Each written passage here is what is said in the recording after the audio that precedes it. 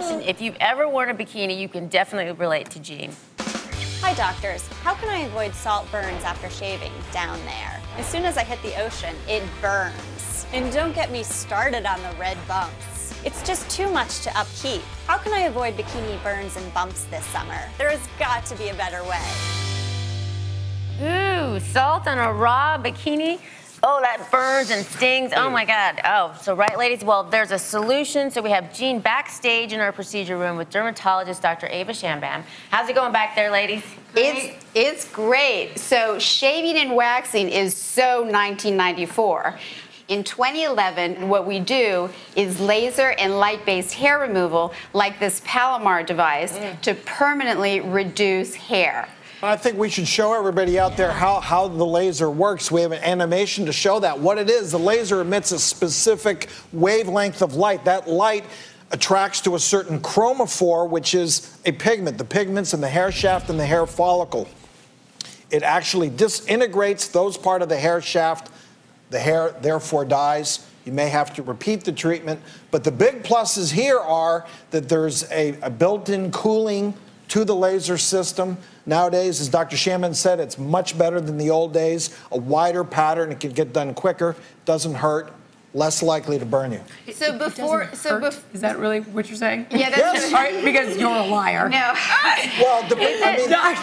It, I not only I, I what are you talking about? I've had my back lasered, it's agony. not with the new systems. No, So it's these new not. lasers don't hurt? So this is No, the new laser. no. It's like taking a curling iron to your No. nether regions. it hurts towards the end. I'm not gonna kid you. I don't think, we're, I don't you think know, I Jillian mean, is getting no, convinced, but, but it can be but it's so worth it. mitigated. Let me just say, And it even if it so changes worth the it. skin, doesn't it a little bit makes the It's skin so just worth as soft it. as it Yes. can be? Yeah. And it's does. better than waxing. It's Yeah. much I, better. it's better than waxing. It's better than electrolysis. There's no ingrown hairs. There's no razor. I thought razor you were passionate about weight loss, No, you are- are so much more passionate about Do you have any laser idea hair how removal. thick I am? I, I'm like a fur ball. I'm like a waxing, plucking, laser machine.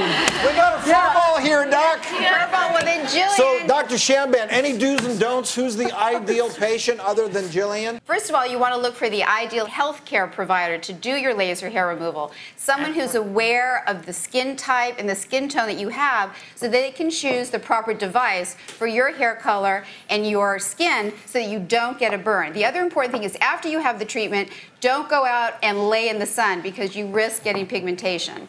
And the swimming, of course, wait a couple days for that too. And Jillian, come in anytime. I promise it'll be painless I for like you. to forget. I like to. For, I like to block that out. You know what? I have an example of full bonsai. So before you would have this full bonsai. After about um, three to six treatments, you'd have this sort of midway. This looks pitiful here, doesn't it? But, uh, after about seven to doesn't- ten weeks, healthy at all. you would have this sparse little shrubs going on. But again, you can design your own bonsai down there, so it doesn't have Yeah, to that- look like a, a Charlie Brown Christmas tree.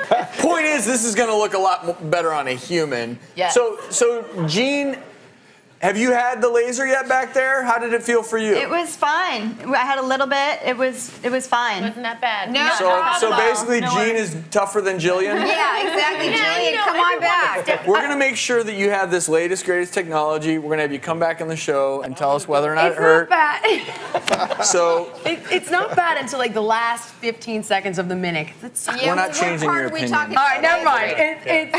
It, it's Dr. worth it. Shamban, Gene, thank you so very much.